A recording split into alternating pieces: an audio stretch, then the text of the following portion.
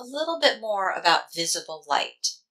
So there are seven colors in the full electromagnetic spectrum that are visible to the human eye. Red, orange, yellow, green, blue, indigo, violet, Roy G. Biv. Put them together and you have white light.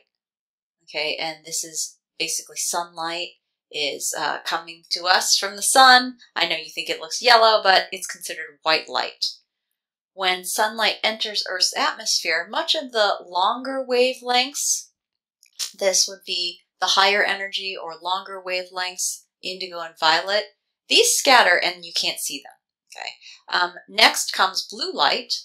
Blue light is scattered by nitrogen and oxygen, that's N2 and O2, which is the majority of atmospheric gases. That's 99% of the gases in our atmosphere are N2 and O2 molecules. And those molecules scatter this blue light, and that's what we see when we're looking at a blue sky. We're looking at the blue light bouncing off of the nitrogen and oxygen molecules. This is called Rayleigh scattering. We can see the full complement of the colors coming from white light, from sunlight, when the colors are split. This happens when you see a rainbow and it's split by rain or water droplets in the sky. You could use a glass prism, that's what this is, to split white light. And this uh, lower, these these lower energy colors, these are shorter wavelengths, red, orange, yellow. And those you'll see sometimes that's a less prominent scattering that happens, like during sunset, or if there's uh, more particulate matter in the sky, we see uh, different colors in the sky, and that's different scattering going on from those other types of particles. So the way this acronym is listed, Roy G. Biv, is from low energy color, red to violet, the highest energy color. So all you have the spectrum in between are different colors, but these represent different energies, which goes back to energy values in the calculations using the equations. Naturally exposed to uh, electromagnetic radiation of all types, but what's coming from the sun, the majority of what's coming from the sun is infrared. Then we have a small amount 8%, which is UV energy. And this UV energy is a higher energy. So ultraviolet or UV energy can break bonds in molecules.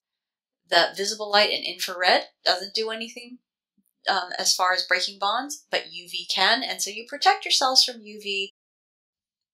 Ultraviolet energy is um, coming here, and we can see this is a molecule. And this spring, these uh, coils are springs. These are basically how you can think of the bonds between the, these two atoms or the bond between this two, these two atoms. And when ultraviolet light hits it, it causes the bond to vibrate. And ultraviolet light has a strong enough force on this bond so that it vibrates enough so that now this breaks apart. So UV energy can break bonds in molecules, like breaking this bond right here infrared energy and microwaves, these are both lower energy, lower energy than UV, and they do cause an effect on molecules, but not breaking bonds. Okay, and so um, infrared just causes molecules to bend and stretch. We'll be looking at that more in talking about global warming. And microwaves are low energy and only cause molecules to rotate and very specific molecules to rotate in response to the type of microwave radiation that's sent out. So these are both not dangerous forms. Um, microwaves, radio waves, visible light, those are all um, in, include. I should include cell phones with that. Those are all forms of energy that are low energy and do not break bonds in molecules. So let's review relationships between frequency, wavelength, and energy in this worksheet.